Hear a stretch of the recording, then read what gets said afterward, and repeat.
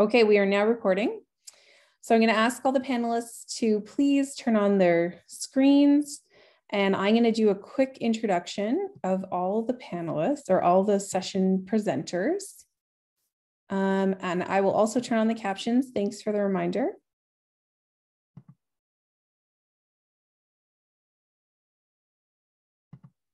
There we go. The live transcript captioning should be turned on. Yes. Is that working? Okay, great. So uh, I'm going to do the introductions for today. I'm so my name is Amber Leahy, and I will be moderating today's session. Thank you all for joining us at session four, day one of the Global Virtual IASSIST Conference 2021. We have three presentations during this session. Our first presentation is being given by Elizabeth Blackwood, the Digital Curation and Scholarship Librarian at California State University, Channel Islands, where she specializes in research data management, scholarly communications, and digital curation. Prior to her work in academic libraries, she served as a digital asset manager for museums and cultural institutions in Washington, D.C. area.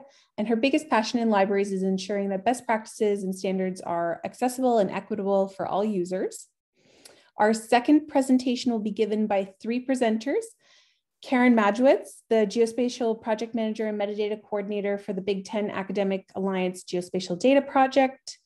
Uh, she's based at the John R. Borchert Map Library at the University of Minnesota, Minnesota.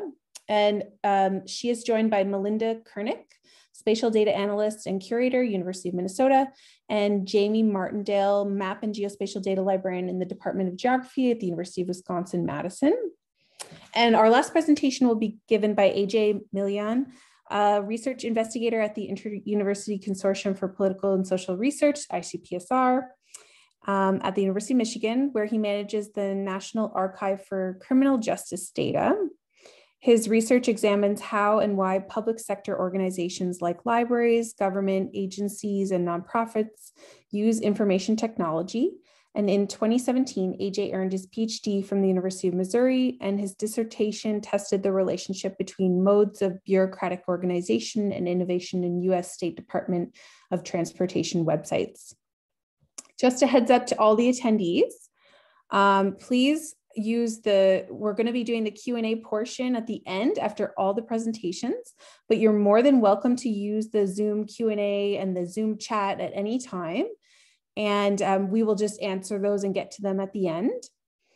Um, if we don't get to your question we'll post it in the whova platform for follow-up after the session has ended. If you have any questions or technical issues you can go to the whova platform in the tech support channel and ask and get in touch with someone there so first up, we have Elizabeth. Are you ready to share your slides, Elizabeth? Okay, take it away. Awesome. Let me go ahead and get that up. All right. I'm going to look at Amber and see if she nods at me that she can see it. awesome. So thanks guys so much for being here today. Um, while the majority of the paper that I submitted for this competition um, was around a research data management workshop that I regularly do at my institution, the thing I'm really going to talk to you guys about today is more about strategies that I use to make research data management for undergrads more equitable because my institution and I imagine lots of other institutions here present really fall outside the R1 designation. And I think it, that presents a variety of different challenges when you're working um, with training undergrads. So um, just to start things off before I get going, um, I want to acknowledge that I'm speaking from the unceded traditional territory and homeland of the Barbareño Ventureño Band of the Chumash people, past and present. All right, so tell you a little bit about my institution, which I think will help understand help you understand kind of where I'm coming from with this.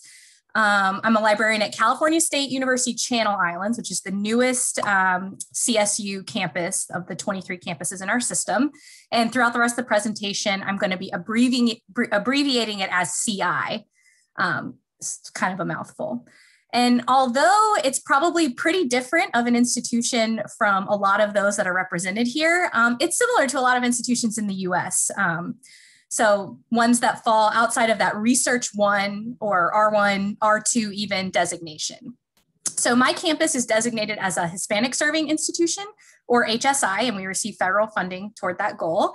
Um, and we serve a population of students that are 60% first generation. So they are the first in their families to attend college, and 55% come from underrepresented or minoritized communities. So, despite the fact that we are a poorly funded regional public university that places more emphasis on teaching, um, there is a lot of research that's happening here. Millions of dollars of grant funding flow into this campus every year for faculty projects that are primarily centered on our county and the populations that this university serves. So it's diverse, a diverse institution serving research that benefits a diverse community. Um, but we're not a doctoral granting institution, so the majority of the research support happens through undergrad labor. So there was clearly a need on our campus for research data man- management training for undergrads, not only for their personal benefit, for those of them that were going to go to graduate school or interest, interested in that type of thing, but also for the support of our faculty on campus.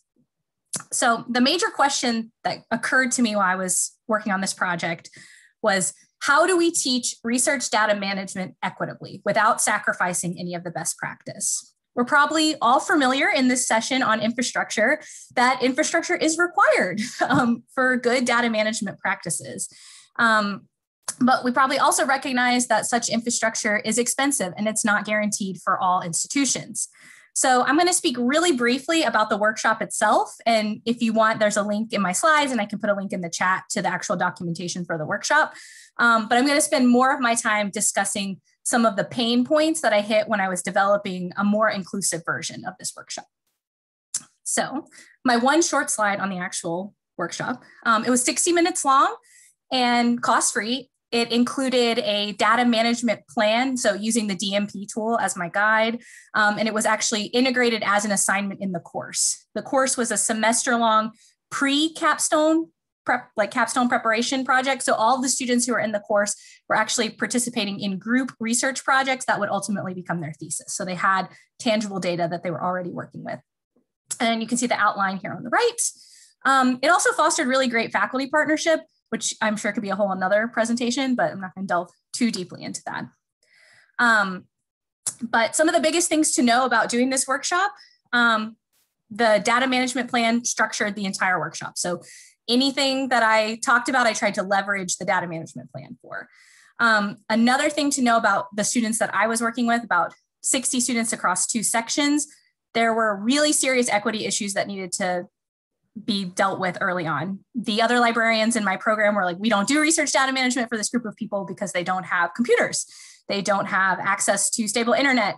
They don't have a lot of the things that we might take for granted if we were doing um, this type of work at an R1 institution. So probably about half of the students in the course that I worked with didn't have their own computers and either managed that through library computer access or phones or tablets, all kinds of different things.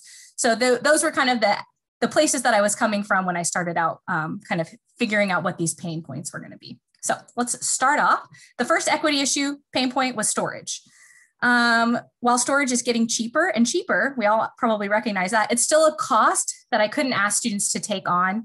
Um, lots of universities actually provide server space for student projects, but this is not true at my institution. So there was no dedicated space for that to for them to actually store and back up their projects. To kind of work around that, um, the big thing is to understand where they're where they are going to be using their storage and primarily that was free or university provided google drive accounts dropbox accounts free cheap cloud storage or if there was a member of the group who had their own computer somewhere on their hard drive so the workaround here was really to discuss that and bring it up bring it into the space, actually address it, rather than just brushing over, you need two backups, you need three backups. You have to actually walk the students through this and have them map out in their data management plan where whose responsibility it is, where it's going to go, and how they're going to manage um, uh, version control on that. The next major equity issue was file naming. So like I just mentioned, that freely available and cheap storage platforms, they don't really make it easy to rename files. Um, just for some context, a lot of these students were working on projects that involved a lot of file manipulation and analysis based off the file name. So I spent a lot of time working on that, talking about this topic specifically in conversation with the faculty members. Um, and if you've ever had to re rename a large batch of files in Google Drive or using one of their plugins, you probably know what I'm talking about here um, in terms of the challenges that that, that has. Um, so the workaround here was really to leverage that data management plan again. And I asked them to think critically about their workflows, especially for data collection, and to actually identify the points when a file is generated and when it's ingested into a storage location and ask them to plan accordingly. So there's not exactly a right or wrong answer other than, you know, helping students locate manuals for the like physical hardware that they're using to collect data and making sure that the machine that they're using outputs the correct thing before it is ingested into uh, some type of storage location. Lastly, probably the most challenging, um, the equity issue is time. Um, we all know that data management can be very time consuming and really painstaking at its worst. So just imagine trying to do that work without your own computer or without any automation tools to automatically back things up, um, the things that a lot of us might be accustomed to. So many of the students in this workshop, like I mentioned, relied on library computers as the primary way to get their work done. And on top of that, the library is in a physical place, at least outside of the pandemic, um, in a physical place. And all these students are mostly commuters. So they have time associated with coming to campus from their job or from taking care of their kids or you know their fam- other family responsibilities all kinds of things that are not on a traditional undergraduate student that we might think of when we think of a student who would be in our classes so while there's again not an awesome workaround for this, it was super important to be realistic with the students about it so that we can plan together and be a resource to them during that planning process. Rather than brushing over topics like file transfers and dat- moving data and those the time kind of concern with that, it was really important to ask students to think about where these thing, where these moments were going to occur at what point of their workflow and account for those slowdowns and to document it in their data management plan. So finally, the big takeaways. Um, even if you are at an R1, it's a good idea to take a deep look at any type of RDM work that you're doing with undergrads. We really want to ensure that undergrads from underrepresented backgrounds feel like careers in research are possible for them. So making sure that they have all of the means and to think through these problems with the resources that they do have was super important for the students that I worked with. I also included some discussion on actual careers in data management. So the folks who are really interested in it could actually explore like what it looks like to be a data curator or to be a librarian who works with research data management because most had not heard of that as a field. Um, and then even more important, well, maybe not more important, but equally important, is there's clearly a need for more attention to this in our in our literature. So when I did a literature review for this project, um, almost everything I saw was completely silent about equity, diversity, and inclusion. So I think it's really something, it says something about the state of the literature. And I think a lot of us are getting really good at doing this work at our major at major institutions at very high levels. And I think there is time for dedicating some of some of that that excellence that we've accomplished and and thinking about who we're leaving out of this type of work. So that is all. I'm going to leave my email up really quickly. So you, if you have thoughts or you want to collaborate on something or you do this at your own institution, have other ideas, I'd love to hear about it. So thank you. Great. Thank you, Elizabeth. So something for us all to keep in mind, especially as we transition over to the talks uh, that are specifically looking more closely at infrastructure. So Karen, Melinda, Jamie, are you guys ready to get started? Okay, take it away. All right, can you see my screen? All right, hello everyone. Thanks for joining us today for this comparison of data cultures in local government. In the United States, county and municipal governments are primary creators of foundational geospatial data, including layers like parcels, address points, and road center lines. This data is often aggregated to create state and national frameworks such as state parcel fabric and next generation 911 emergency layers.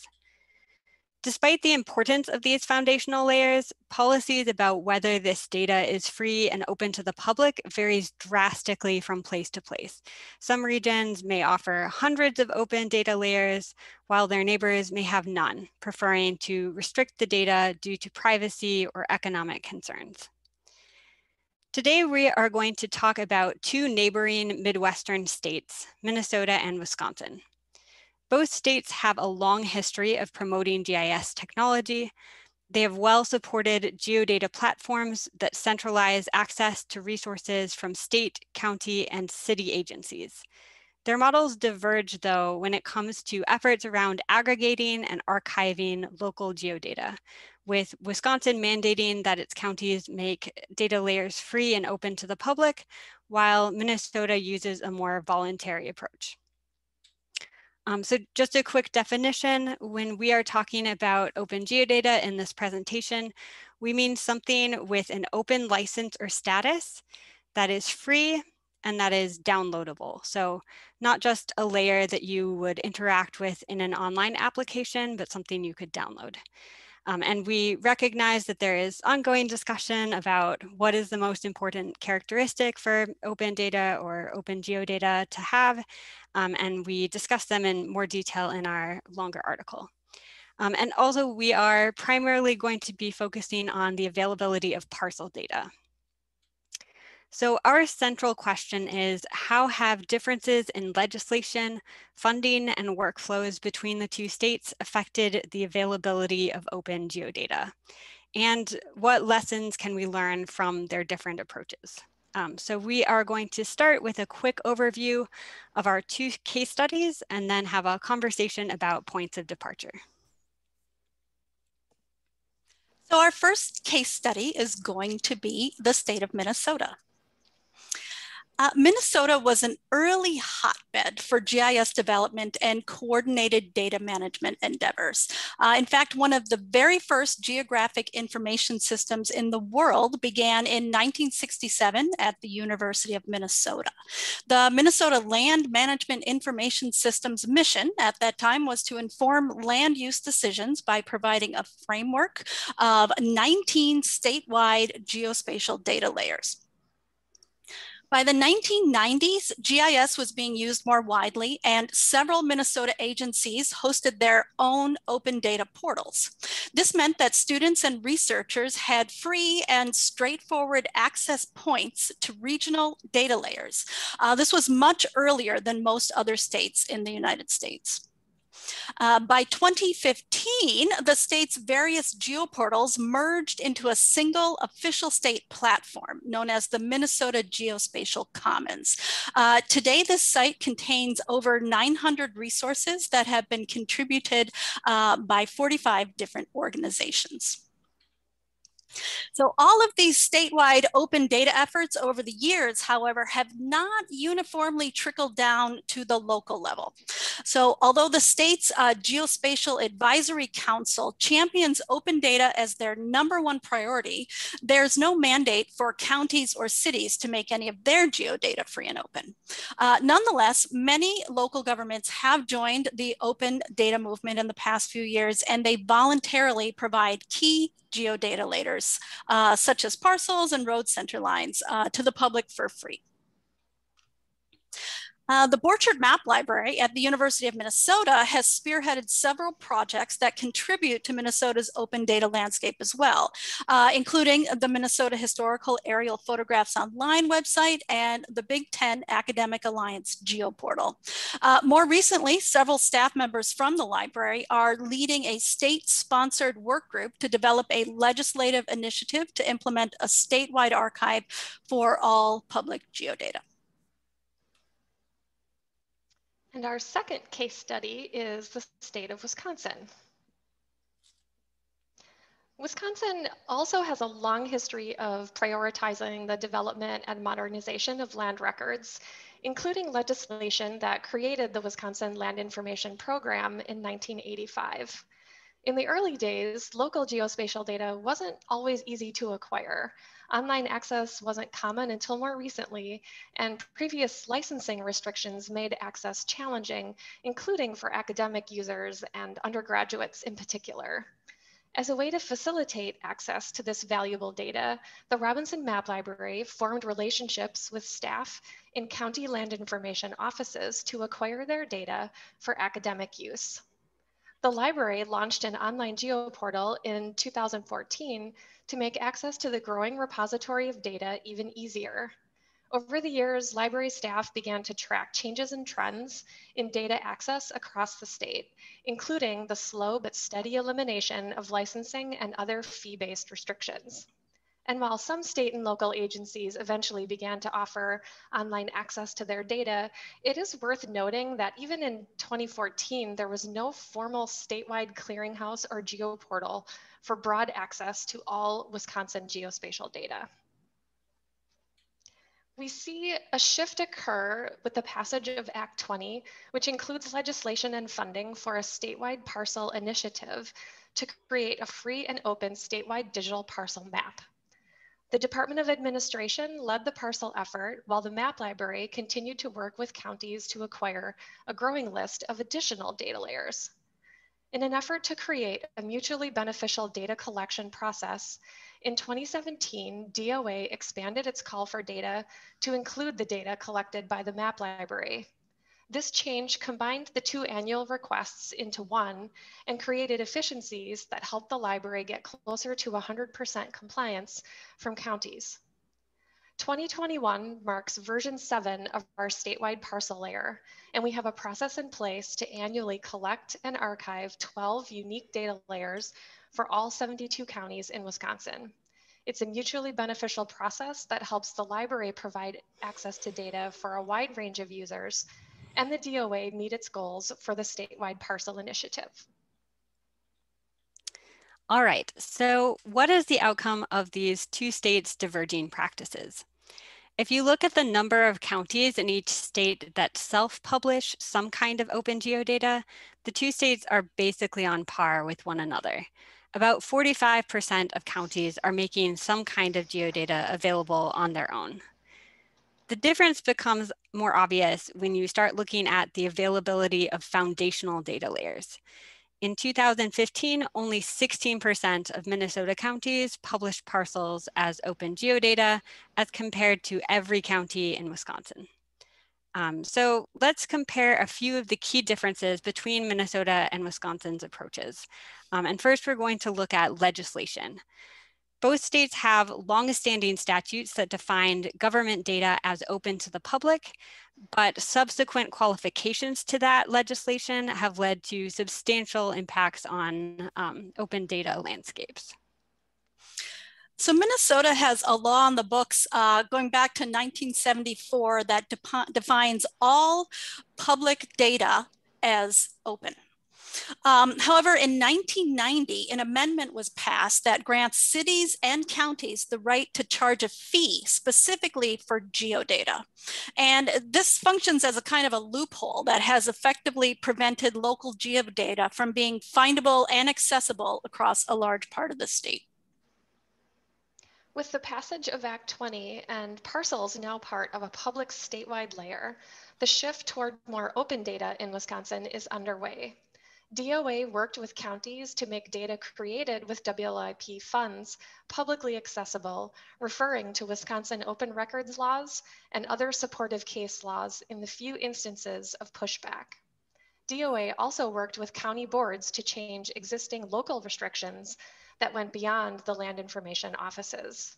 And while not always a smooth process, all 72 counties now publicly share not only parcels, but many other layers as well. Um, the, the allocation of funding around open geodata is another key difference between the two states. So there really is no centralized funding source um, that supports the creation of local geodata in Minnesota. Uh, so a lot of counties continue to charge for access to data as a way to recoup the costs of producing it. In Wisconsin, the Land Information Program is funded in an interesting way.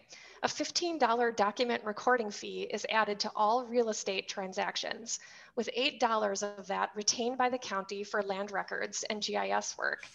The remaining $7 funds base budget grants eligible to counties that generate less than $100,000 a year in retained fees. For example, larger, more populated counties have generated upwards of 500 to $600,000 per year through this program. With the available funding, there's high incentive for counties to participate. The last difference we're going to talk about involves how local governments participate in their state's central geodata platform and the workflows um, involved in sharing data. Um, any governmental, nonprofit, or educational organization can use the state supported Minnesota Geospatial Commons as their open data platform. Uh, so the workflow is a self service model whereby contributors have full control and full responsibility for their resources. Uh, they do need to set up a local node on a file sharing application, uh, write all their own metadata, and upload it bundled with their data sets up to the Commons. Uh, the Commons requires valid metadata that conforms to the state guidelines. Uh, and this metadata threshold keeps the quality of the data in the Commons very high, but it also has the effect of preventing most counties from participating. Uh, out of the 39 counties that self-publish geodata in Minnesota, only 10 of them actively contribute to the Commons. In Wisconsin, each year, the Department of Administration sends a call for data to all 72 counties. The State Cartographer's Office, which is part of the University of Wisconsin-Madison, is contracted to generate the statewide layer. The map library archives the data for long-term preservation, writes discovery metadata, and creates access online through GeoData at Wisconsin. A similar version of this library workflow has been in place in the library since 2005, but it's now much more efficient. DOA's acquisition of the data in an organized and predictable way is a huge help in the library's data access and preservation goals. So finally, in conclusion, through this work, we've learned that legislation, funding, and workflows have a major impact on the ability to successfully archive and provide access to open geospatial data. Legislation can help formalize a process, making expectations clear. Providing dedicated funding is an incentive for participation and can help enhance data production. Designing collaborative workflows that make data creation, data creation sharing efficient also make participation less of a burden for data producers. Collaboration between data producers and libraries is a powerful thing. Librarians offer expertise in discovery and access to information. They can clear up misconceptions about metadata and break down the perceived barriers to creating it. Librarians also see the value in archiving and, and providing access to temporally significant data to allow for historical research and visualization through time. Wisconsin and Minnesota continue to learn from each other, including best practices for thoughtful and inclusive ways to approach possible legislation, models for funding, and workflow designs. As progress is made on the open geospatial data landscape, the dialogue in each state continues and the best path forward becomes clearer. And with that, thank you so much for listening today, and we're happy to take all of your questions at the end. Thank you. Thank you, Karen, Melinda, and Jamie. If you have any questions for either the first presentation, presenter Elizabeth, and the, the group here, please put them in the Q&A. We're doing really well for time. Uh, so AJ, do you want to get set up? And I'll just mention that I really enjoyed learning about the creative ways to fund open geospatial data, especially the example where they charged real estate fees to then feed back into statewide infrastructure. Amazing, very creative. Take it away, AJ.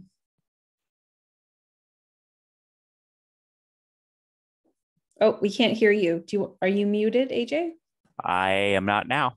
Great. So thanks for that check. Uh, and I was going to say, yeah, I really enjoyed the last presentation too. It was really, really interesting.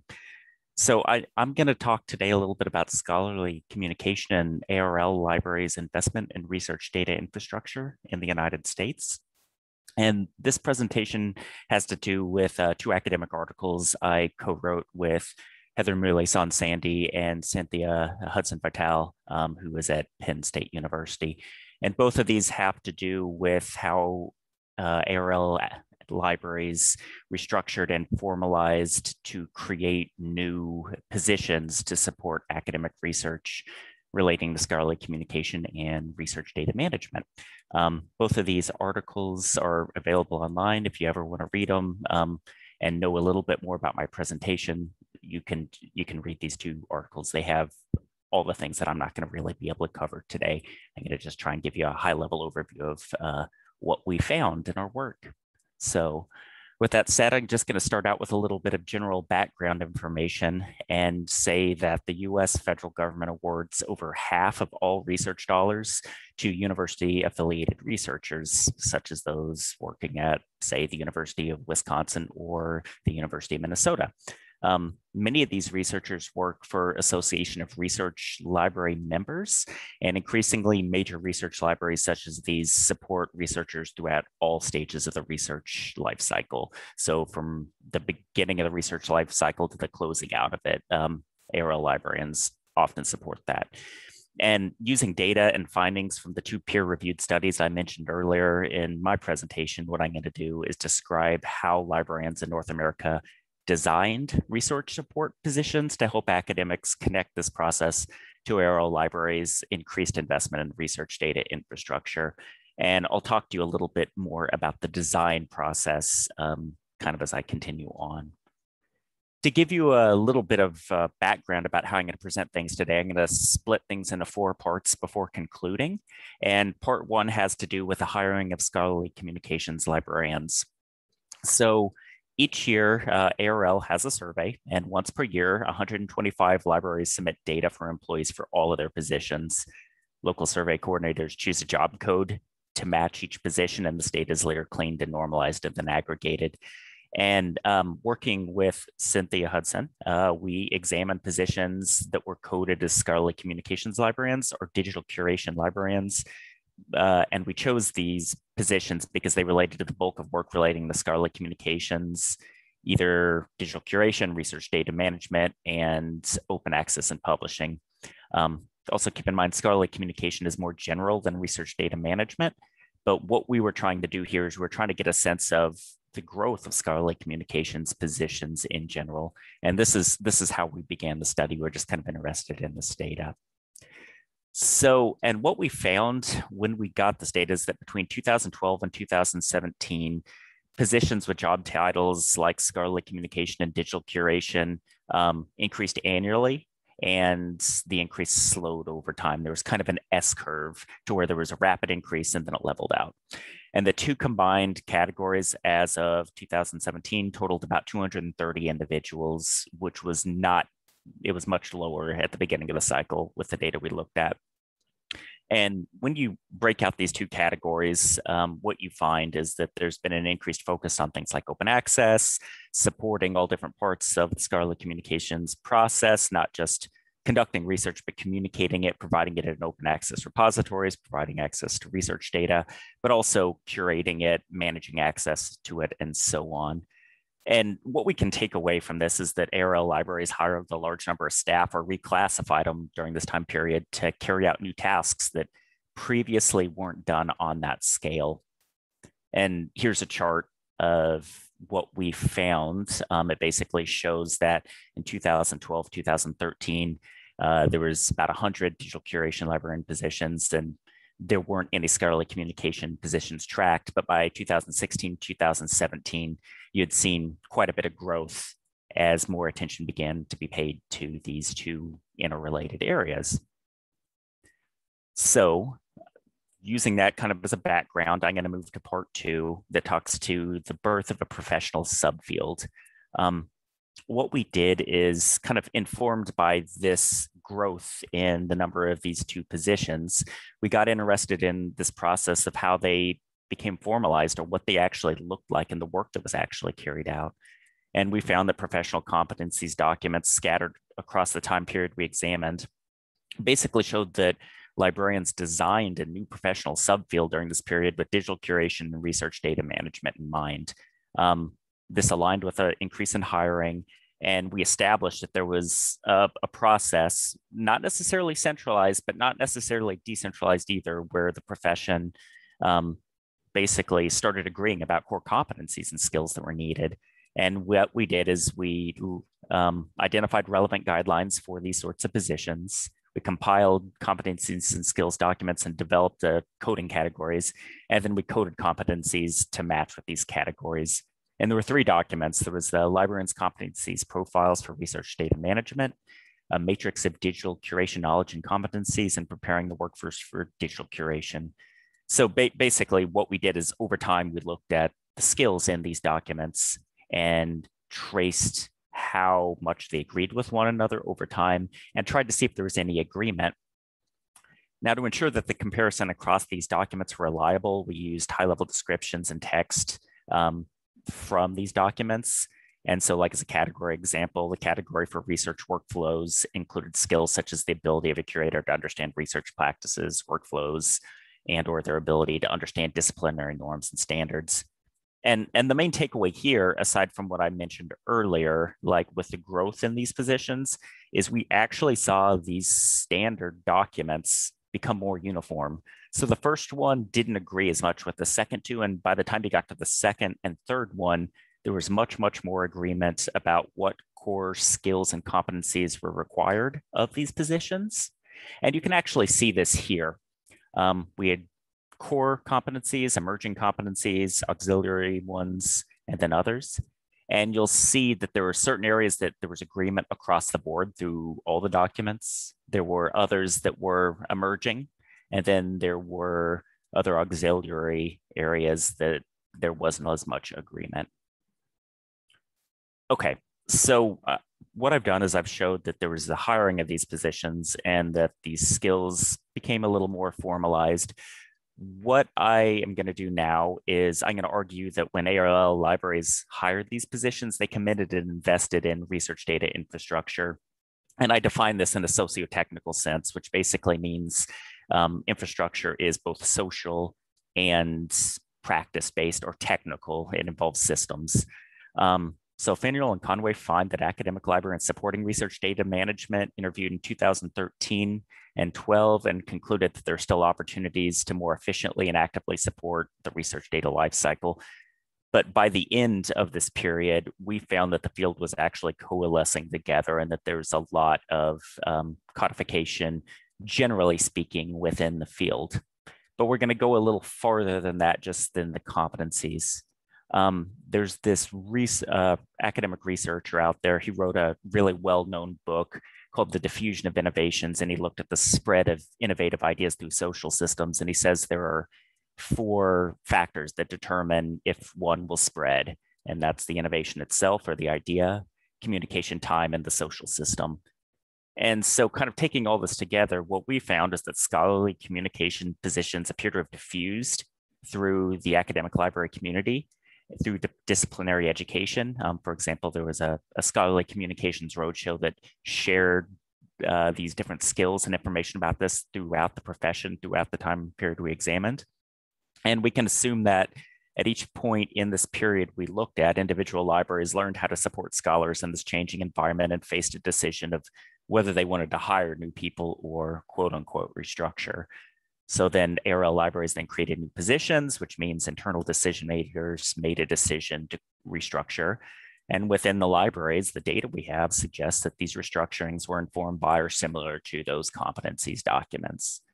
So it, it, it's kind of a complicated way of describing a relatively simple process, but we actually saw evidence that academic libraries were adjusting to the needs of researchers with research data management at the core and providing more and more support directly to scholars, which is really, really interesting. And to do this, they necess- by uh, necessity had to invest in infrastructure to do it. So something that's not clear here, though, is what's the best way to ensure the work these professionals do is used and valued. And Rogers the guy who I mentioned to earlier refers to this process as uh, clarifying and creating routines, which means ensuring that the people who use these services understand their value and that they're managed effectively. All right, so to wrap up, um, given our findings and Rogers' theory, which I really didn't go into, but there's a lot more in the paper, how can librarians best show their ability to support researchers? Um, Rogers talks about the process by which organizations choose to adopt or rejecting innovation. And this is not a linear process, even though the one that I've described. So the kind of takeaway here is that the long-term sustainability of these positions is something that isn't set. So a lot going on here in the future will depend on how well these positions are justified to users, um, if the organizations of which they're a part understand their value and the documents, um, the competencies documents that I described earlier match up to actual on the ground skills and needs. So uh, given the codification of the field that I'm talking about, it appears there's this constant need for consistent, strong messages to be sent to users. And our work really didn't look at smaller institutions that lack the infrastructure to accommodate researchers. We just looked at very large ARL libraries. So there's um, some more research that could be done in that area. So I'm going to kind of conclude here and just say that um, more work needs to be done evaluating the proven value of these positions. I think they do really great work, um, but this is something that's instrumental to their continued success and their continued funding. Uh, the competencies documents we evaluated, me and my co-authors, aligned with different stages of the research data life cycle, further establishing that they're becoming more and more formal. But we don't know about sustainability in the long term, and our findings, findings were especially relevant and noteworthy in relation to research data management, not just scholarly communication, because they show academic libraries are investing and inserting themselves into the research data lifecycle in, in entirely new ways. Um, that's all I have, so I can just go and wrap up, and I'd be interested in hearing any questions you have. Thank you, AJ. Thank you to all the pres presenters. If you have questions, please feel free to put them in the in the Q&A in the Zoom Q&A box. Uh, so we do have a question. I believe this one is for the GIS group. So um, there's a, a, question from Chris. Uh, have you done a survey of other state laws regarding open data and open GIS data? Uh, I can address that. So Chris, that's a really good question. And when we initially um, formulated the idea for this uh, paper, that was uh, what we were hoping to do. Um, and I, I'll put a link in the chat to a place where there actually is some pretty good um, if somebody did want to look more into that, I would recommend that website at NSGIC, National States uh, Geographic Information Council is having some good information about that. Um, we decided for uh, our purposes that it we wanted to just narrow down, scale down the paper to just focusing on our two states. Um, there is a lot of shared history and culture between uh, Minnesota and Wisconsin, and a lot of people that work in nonprofit or commercial industries work in both states. Um, and we really wanted to bring attention to what we think of as the Wisconsin success story because a lot of people in Minnesota weren't really aware of it. They only knew that there was a lot more open data in Wisconsin than there was in Minnesota, and they didn't understand why. So uh, that's a good question. Um, maybe that'll be our, uh, our, our part two.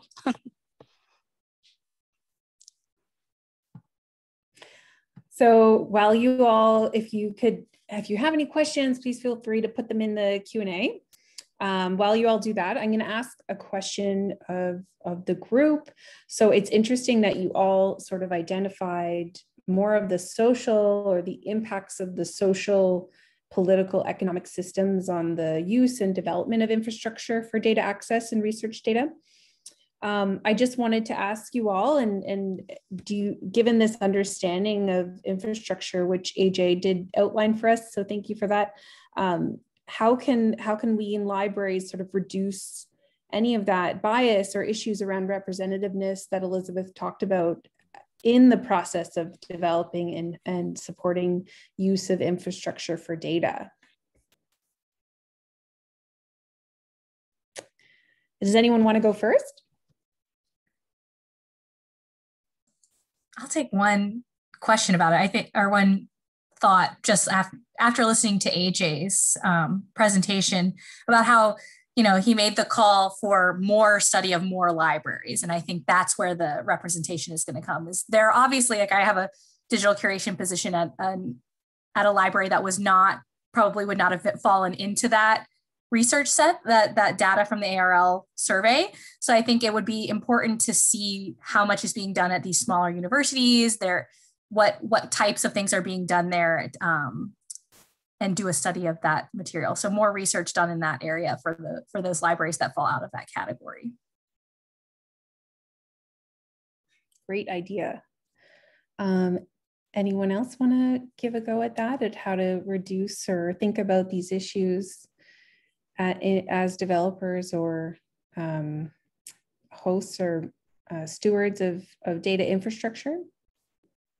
I can add a few thoughts. I don't have any perfect solutions or anything, but I think maybe a good place to start is just to recognize that often infrastructure is designed and when you had and it doesn't necessarily have to be part of a formal planning process. It can be emergent or it can be designed over time. So maybe a way to handle that is just to kind of acknowledge that infrastructure usually serves people like and serves certain purposes and if you want to have an expansive view of it like you should ask who it serves and how it what it serves so like if you're talking about like marginalized communities you know, like or accessibility or things along those lines. Just keeping that in the forefront of your mind kind of can make sure that it's actually being built out to help people and serve them. I don't think that always happens because sometimes infrastructure just blends into the background and we just kind of take it as a given. Or you you teach people how to use it in a certain way and that just gets repeated over time. Thank you for those thoughts. Any other thoughts before we move on to, it looks like we do have some questions now in the Q&A. Okay, um, next question from Katie. Question for Melinda. You mentioned that undergrad labor is necessary for research at your institution. With the equity issues, is there any hope looking forward that the institution will help remedy the issues to better support undergraduate workers who all help us in the libraries? We rely on them. Do you want to take that, Melinda? Yeah, so I'm thinking this might have been meant for Elizabeth, probably. So, yes, yeah. yeah. Just reading it through one more time. Yep.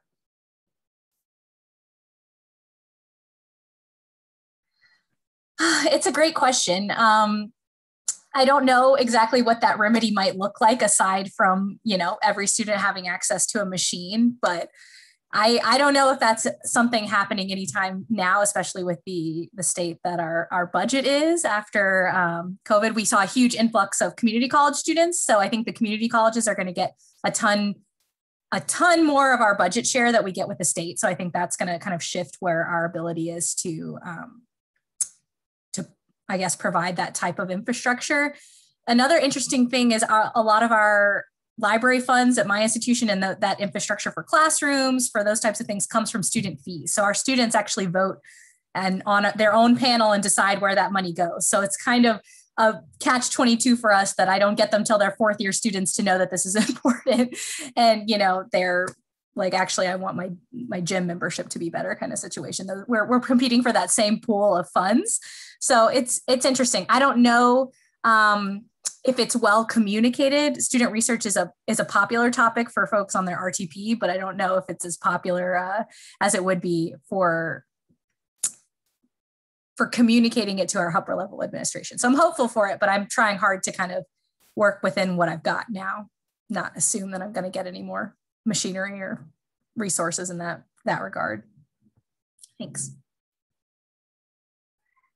AJ, do you want to go ahead? Uh, Wendy's asking um, in your definitions of, of these ScholComm and RDM, we've been looking for data librarian stream in library schools for decades now from reading your paper. It doesn't sound like it will be happening anytime soon. Is that right? You go ahead. So I think a lot of that depends on library schools and like the different models that they have. Um, if they're just chasing after revenue with a smaller number of them, like that might be hard. Um, so I don't know if that'll happen or not. I can say based off what we saw, the increase in the number of people that are classified in this way and the competencies from a curriculum perspective, it's definitely possible to provide that and to have the classes. I just don't know. I, I don't know about the full term, full teaching stream. I'd say it's closer now than it was five or 10 years ago. Um, but uh, yeah, I'm not sure if we're quite there yet. So it's like moving the needle, but um, I wouldn't say anytime soon, but I, I also don't have any data about that at this point. So, so it's like kind of a mixed bag. There definitely I think has been an increase in demand. It just depends on if there's enough demand for it. And that's something we didn't look at. Yes, always interesting to think about intersections between um, those kind those kinds of data services positions and these new data positions. Absolutely. Uh, so I'm just double checking. So I think we answered Katie's, Wendy's. Uh, there's some chat going on, but I think it's being sent to the panelists, but lots of support for thinking about smaller schools and how to engage with more diverse examples of institutions on this. And it's Paula's mentioning that session three on Thursday is related to this question, so that's great. And then moving on to Rosa's question for Elizabeth. Uh, Elizabeth, you mentioned the lack of literature about equity, diversity, inclusion. Will you be sharing your lit review in a publication? That's the plan. Nothing in the works just yet, but that's that is an ultimate goal. so thanks. But I'm happy to email email it out to anyone who's interested in in advance if you're fighting at the bit. You want want something a little earlier. Great. Thank you. Any other questions, please feel free to put them in the Q&A chat. Um, I, I have a question for AJ. You know, thinking about how you've tracked the increase in these positions and you did make the connection to funding, did you also notice that there was an increase in funding to those institutions that did have those positions or if there's some broader uh, investment being made by funders in this area that, that you could connect to, to your research? Yeah, so interestingly enough, um, the uptick kind of coincided with federal mandates for research data sharing. So there was that piece there too. Um, there was kind of, it coincided kind of with an increased amount of attention paid to open science and study replication. Um, in terms of funding, these were all large universities. Um, so they I would argue they had deep pockets to begin with anyway. And if they didn't have the money to create a new position, they could reclassify existing roles into these positions.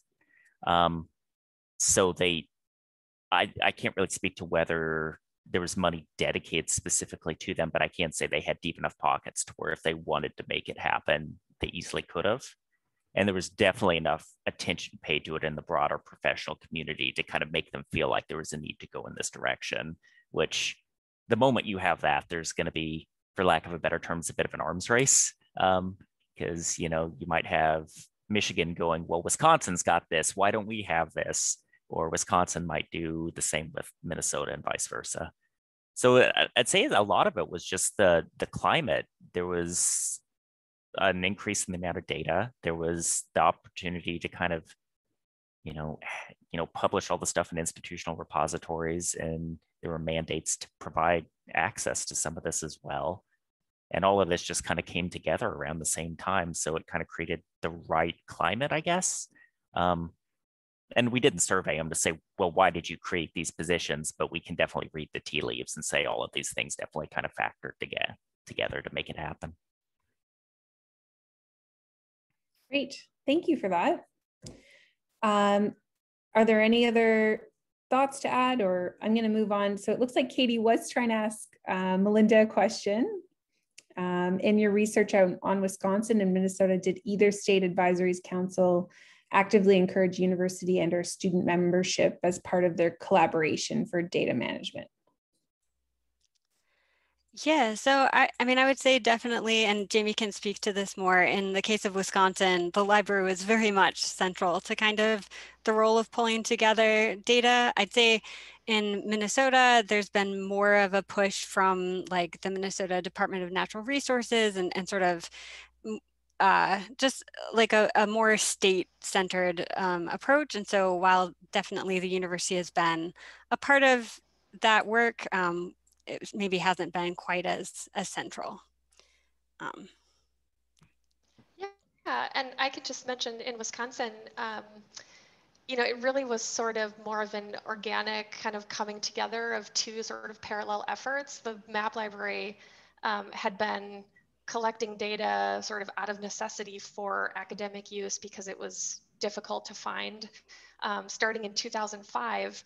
And you know, the statewide parcel layer work, starting with the biennial budget in 2013 to 2015, sort of looking at one individual layer, um, this partnership sort of between the Department of Administration and the universities sort of naturally came together for the sake of efficiency. So we weren't, you know, separately asking counties um, two times per year for different types of geospatial data. Um, it was just more efficient um, to send one request. I'll, also mention this isn't like a formal contract or partnership. We don't get funding or, or we're not paid you know, by DOA for, for this work that we do.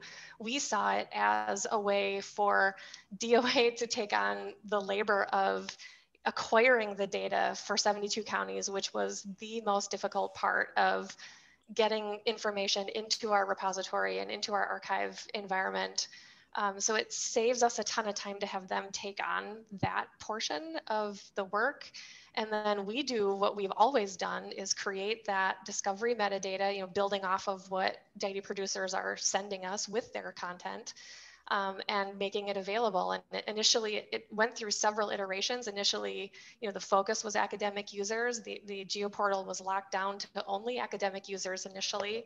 Um, and then as things started to kind of open up and restrictions went away, we just sort of gradually um, followed that model. And so now it's, you know, a completely open and publicly accessible accessible data collection. But we also don't have an advisory council in our state. It, there isn't like a, an umbrella group of people with multiple representation from different areas. It's literally the Department of Administration through the Land Information Program kind of running this um, statewide parcel initiative. Great, thank you for clarifying and, and answer helping to answer that question. Uh, Joyce is asking, we have four minutes left. Joyce is asking for AJ, I may have missed this, but did you find more universities creating new positions or redefining existing positions to meet this new need? Just wondering if there's a trend to either option or a balance between the two. So we actually couldn't tell from the existing data because we used just the raw aggregate numbers of positions classified in the two different categories. So we can't say for sure. However, given the increase over time, I would say at least some of them had to be new. Um, and given the kind of, I don't know, I guess uh, what was I referring to it as kind of the uh, formalization of the skills and how there was kind of this increased consensus over time. I would say a good chunk of them probably were new. Um, they weren't just people saying we're going to get rid of this old position and create a new one. Um, so it's definitely a growth area. And it, I wouldn't say it's coming at the expense of any other positions because it's so different from a lot of other stuff that was being done. Um, but we don't know the exact numbers compared to before. We'd have to send out a completely new survey and ask them, is this position new? Like, or did you reclassify existing positions? Wish we had that. Yes, that would be really interesting to know. Thank you. Um, I think we'll do, looks like we've got from Wendy uh, to Elizabeth. Your program sounds really important. Do any of your students get hooked on the data bug? And that seems to be a way into the job market these days. So, did you get any success there? I did actually. I had two students who came from that class who went on to master's degrees in information science, focusing on data curation. So I know that they're, at least in my short time of doing this, I've had at least, I'm two for two on my uh, flow of, of students through that program. So I think it's, it's working. That's great. Great to hear and share. Um, and then I think one more, AJ, did you look at government government positions as well or just academic? Just academic positions, and I'd be really interested to see government ones. Um, I started my career in government. Um, you know, mostly worked with a lot of GovDocs and things along those lines, but there's definitely been a huge uptick in the amount of data government agencies collect. Um, so yeah, um, if anybody does that study, like and looks at what government agencies done and the changes there, I'd love to see it. Like it'd be fascinating. For sure. Okay, well, thanks everyone. I think this was went really well, and thanks again to all of our presenters. Um, I, I don't believe we have any questions, so we won't move anything over into the Whova platform. And thanks again for participating in the chat and, and, and putting in questions for the presenters. We really appreciate it. Okay, on to the next session. Thank you, everyone. Thank you.